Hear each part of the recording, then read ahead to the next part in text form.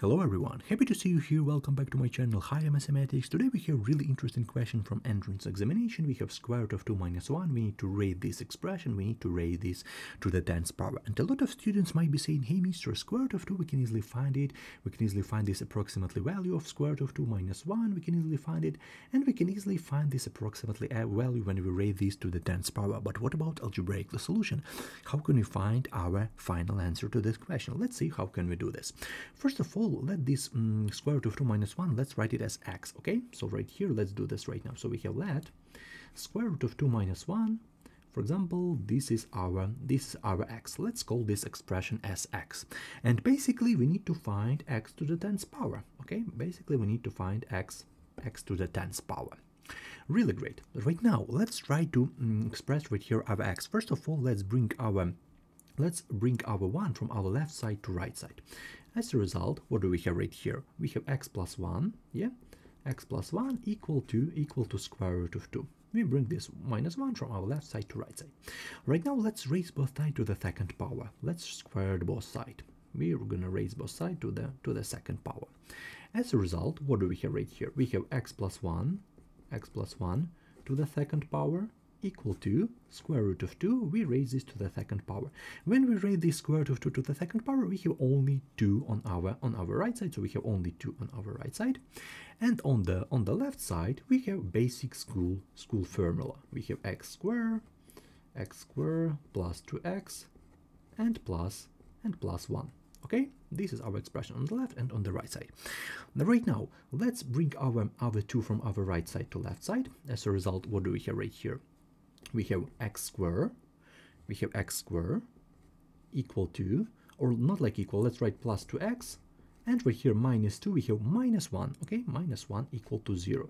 And right now, the final moment, we don't need to solve this question. We need to express our second power according to the first power. It helps us to reduce a power. So basically, from here, our x square equal to 1 minus 2x. Okay, we bring this 2x and minus 1 to the right side. And this is extremely important expression for us. So x squared equal to 1 equal to 1 minus minus 2x. This is really important expression for us because if you look back, we need to find our x to the 10th power. So right now we're getting closer and closer to this x to the 10th power. First of all, let's find our x to the 4th power. So let's raise both sides to the second power. Let's do the thing right now. Let's start, let's mark this as a first first step in our in our solution. We need to raise both sides to the second power. We have x squared. We raise this to the second power equal to 1 minus 2x. We're going to raise these to the second power as well. Let's do this. We have x to the fourth power right here on the left side equal to 1 minus 2 times 2x and times we have 1 and plus we have 2x squared. Okay, this is our expression on the right side. Let's do this, let's simplify this a little bit. We have x to the fourth power equal to 1 minus 2 times 2, we have 4x and plus 4x 4x squared. But we know that x squared equal to 1 minus 2x. So extremely important thing. But uh, x squared equal to 1 minus 2x, which helps us to reduce a power. So instead of this x squared right here, we're gonna plug in this 1 minus 1 minus 2x. Let's do this right now. So we have x to the fourth power equal to, we have 1 minus 4x plus 4 times, instead of this x squared, we're going to plug in this expression that we found before, 1 minus 1 minus 2x. Let's simplify this a little bit. So we have x to the fourth power equal to 1 minus 4x plus 4 and minus minus 8x, which is equal to, what do we have right here? 1 plus 4, we have 5, and minus 4x minus 8x equal to minus 12 x. So x to the fourth power, let's write it right here, x to the fourth power equal to, equal to 5 minus 12x. So 5 minus 12, 5 minus 12x, so x to the fourth power equal to 5 minus 12x. Really great. Right now, as you can see, we know about x squared equal to 1 minus 2x. We know about x to the fourth power, which is equal to 5 minus 12x. And right now, let's get in closer and closer to our x to the 10th power, because we need to find our x to the 10th power. Uh, let's raise both sides to the second power, then we will have x to the 8th power. Okay, let's do the thing right now. So our second step, we're going to raise both sides to the second power. So once more, we have x to the fourth power, we raise this to the second power, equal to 5 minus 12x, we raise to the second power. So we squared, we squared both sides. As a result, on the on the left side, what do we have right here? We have x to the 8th power, which is really great because we're getting closer and closer to our x to the 10th power, equal to, what do we have right here? We have 5 square minus 2 times 5 times 12x and plus 12x squared. This is our classic, this is our classic formula from school. This is our basic formula. So x to the 8th power equal to 5 squared, we have 25, minus 2 times 5, 10, we have looks like 120x, and plus 120, 144x square, but x square, so but x square equal to 1 minus 2x, absolutely the same trick as we did it before. We have x squared equal to 1 minus 2x, and we're gonna plug in, instead of this x squared, we're gonna plug in this 1 minus 2x, which helps us to reduce a power, because just imagine we are working with x squared, and when we are working with the first power, which is just really easier for us to work with, with the first power, okay? So what do we have right here? x to the 8th power equal to 25 minus 120x plus 144 times x squared, x squared equal to 1 minus 2x, so we have 1 minus 2, 1 minus 2x. Let's simplify this a little bit. What do we have right now? We have x to the 8th power equal to, we have 25 minus 120x plus 144, 144, and minus 288, 288x. Really great. Right now, let's simplify this. We have right here 144 plus 25, we have x to the 8th power, x to the 8th power equal to 168 minus 408x. Okay, we have our x to the 8th power. Really great. So these are x to the 8th power. And as I told before, what do we have right here? What do we know? We know x to the 8th power, we know x to the 4th power, and we know x to the second power, but right now actually we need to group it these powers, we need to find our x to the 10th power, okay? Basically we need to find our x to the 10th power, so we need to multiply this x to the 8th power, we need to multiply it by x to the second power. As a result we have x to the 10th power, so let's do this final, final tricky move right now. Okay, so I just rewrite the, all this expression from the previous step, we, we call this expression as x, so square root of 2 minus 1, this is our x, we need to find x to the 10th power, we know x squared square equal to 1 minus 2x, we know x to the 4th power equal to 5 minus 12x, we know x to the 8th power which is equal to 169 minus 408x, but in the, in the beginning we need to find x to the 10th power, so how can we group this combination? Uh, and we need to find our x to the 10th power, basically we can easily multiply x squared by x to the 8th power. And as a result we have x to the power 10, so we, we really need this x squared and we need this x to the 8th power. So let's do the thing right now. Let's do this final final step right here. So x square times x to the 8th power. This is our final step. As a result, we have x to the 10th power, exactly the expression that we really needed. So which is equal to, we have x square equal to 1 minus 2x, so 1 minus 2x, times x to the 8th power equal to 169 minus 408 408ax. So let's do this. Let's multiply our both parentheses, but on the left side we have expression that we that we really need. We have x to the power x to the power 10. Okay, x to the power 10, which is equal to. Let's multiply it. We have 169 minus 408x minus 338x and plus 816x square. So when we multiply it, we have this type of expression. Right now, let's simplify this a little bit. We have right here minus 408x minus 338x.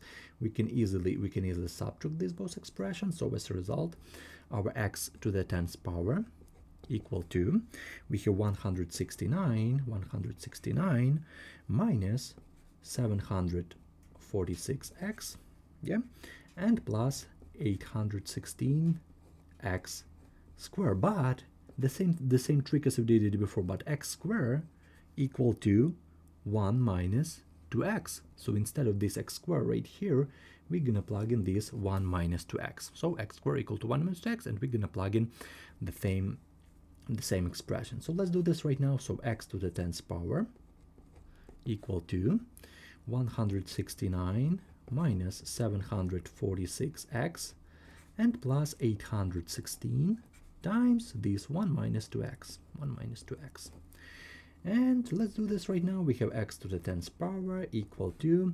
169 minus 746x and plus 816 and minus 1632x and let's do this right now. Let's add our constant right here and we have right here our uh, expression with with variables okay? So let's do this right now.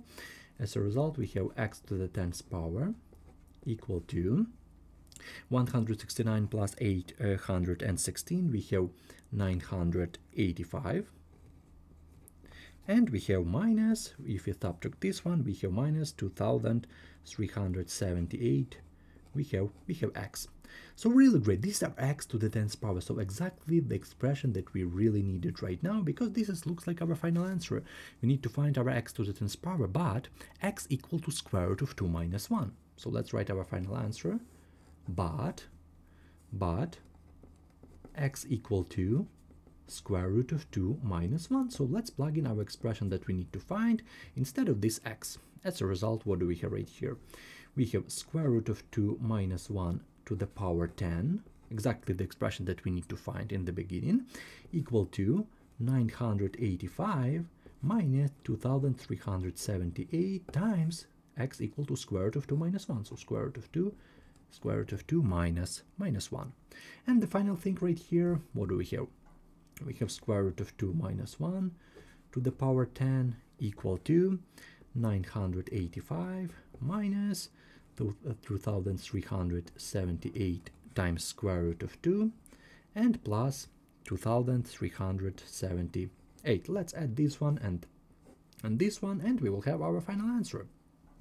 So we will have our square root of 2 minus 1 to the power to the power 10 equal to 3363 minus 2378 times square root square root of 2.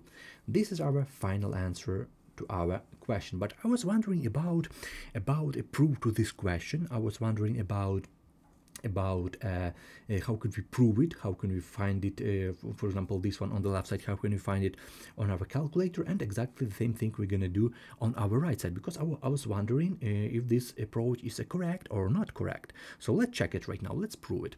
On my calculator, previously, okay, so we have right here prove, I find the value of this square root of 2 minus 1 to the 10th power.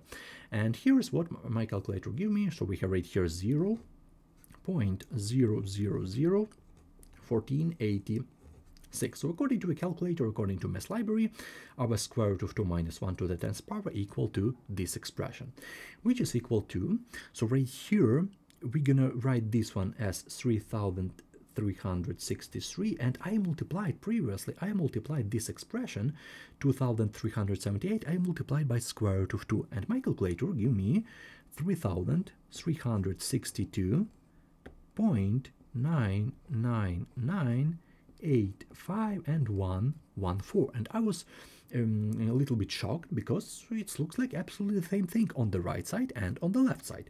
On the left side i want to rewrite it. We have 0 0.0001486 and on the right side if we subtract to it we have 0 0.000 1486 because mm, for me it was like a little bit confusing because I have like a um, really complicated expression on the right side. 3000 2000 square root of 2 and I was wondering about a correct, uh, which is a correct approach about this answer, because I was a little bit shocked about the complicated expression on the right side. But as you can see right here, when we multiply it, of course, you can easily check it if you don't trust me.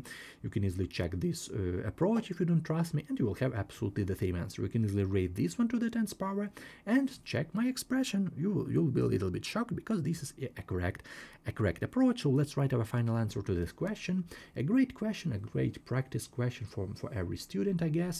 So let's write our final answer. So our answer to this question, we have square root of 2 minus 1 to the 10th power equal to 3363 minus 2370. 78 we have times square root of 2. For those who are interested in approximately answer, square root of 2 minus 1 to the power 10. I write it as approximately, but basically this is equal, but let's write it approximately answer. So we have 0 0.0001486. And you would say me, okay, mister, but uh, you check it uh, according to your calculator. But, but what about this one? How can you find this expression? This is not a calculator expression. Uh, this is expression when we find it algebraically. So this is like a, a proof. This is like a, for those who are interested in approximately answer. But basically, the main solution is right here. The main solution is right here because this algebraic solution. We don't find it randomly. We don't find it by inspection. We don't find it mm, chaotically. We just solve it according to algebraic expression, and this is like a correct solution. This is a solution for those who are interested. This is not like a solution. This is like approximately answer. Yeah, we, we can easily check it. We can easily plug in in your math libraries. You can easily see this answer. But basically, a correct answer, if you have this type of question on your exam, a correct answer is 3363 minus 2378 times square root of 2 this is a correct answer on your on your exam this is for you mm, just to check our left and our right side this is for you to check it okay? So i hope you understand my explanation. I hope you learned something new. I hope this question like mm, what, what was interesting for you i really appreciate it because this is like a great practice question for everyone. Uh, you can easily solve this question once more. You can easily uh, check a solution once more because this is a great practice question for everyone. It looks like a school question. This is not that hard but a long question okay? It's not that it's not a three or four minutes video. It's like maybe 10 minutes. I don't know uh, uh, about the length of this video but as you can see a lot a lot of really interesting tricks a lot of really interesting tricky moves so i hope you understand it. I hope you will enjoy it. So thank you everyone for your support. Thank you everyone for your respond. If you respond down into the comment section i really appreciate it to see you respond. And thank you for your time. Thank you for your for your kind comments for your like for your dislike. I really appreciate it. If you if you mm, like my content i really appreciate it. I try to make a video every day but if you're interested in uh, right now if you're interested in in math you can easily check my youtube channel. I have like more than 200 videos more like 200 uh, olympiad question uh, entrance examination question school question maybe like geometry question higher mathematics question. So a lot of really interesting things. So i hope i really appreciate it when you when you leave a, a kind comment when you enjoy my it's really important and it's really kind for you. So thank you everyone for your support. Wish you all the best in your life. Take care of yourself and love math.